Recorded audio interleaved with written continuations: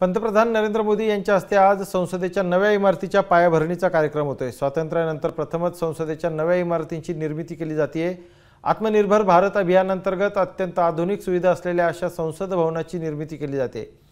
त्रिकोणी आकारामध्ये तयार करण्यात येणारी ही नवी इमारत अत्यंत आधुनिक सुविधा असलेली कमीत कमी ऊर्जेचा वापर होणारी आणि अत्यंत कडक सुरक्षा व्यवस्था असणारी असेल. सध्याच्या इमारतीला संलग्न अशीच इमारत असणारे सध्याच्या लोकसभेच्या सभागृहाच्या आकारापेक्षा तीन पटीने मोठं सभागृह नव्या इमारतीत असेल.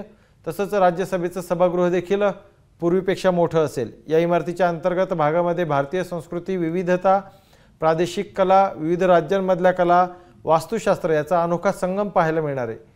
या इमारतीत प्रामुख्यानं ग्रीन टेक्नॉलॉजीचा वापर केला जाणारे अत्यंत आरामदायी आसन व्यवस्था उच्च दर्जाचं ऑडिओ व्हिज्युअल तंत्रज्ञान आणि संकट काळात कमी वेळेत इ इमारत रिकामी करण्याची सोय देखील या ठिकाणी असेल. पायाभरणी कार्यक्रमाला लोकसभा अध्यक्ष ओम बिर्ला यांच्यासह प्रमुख मंत्री आणि अधिकारी यांचीही उपस्थिती असेल.